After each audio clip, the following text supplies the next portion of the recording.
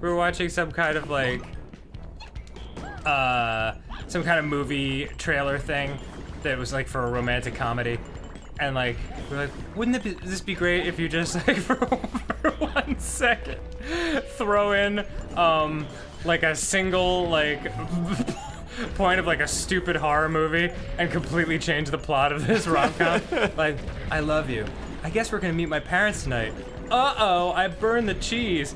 If you die in the game you die for real. You flushed the dog down the toilet?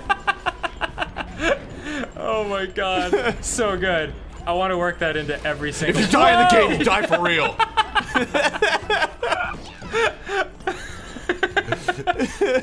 oh my favorite whoa whoa whoa whoa hey Whoa, whoa, whoa, whoa, whoa. Ooh.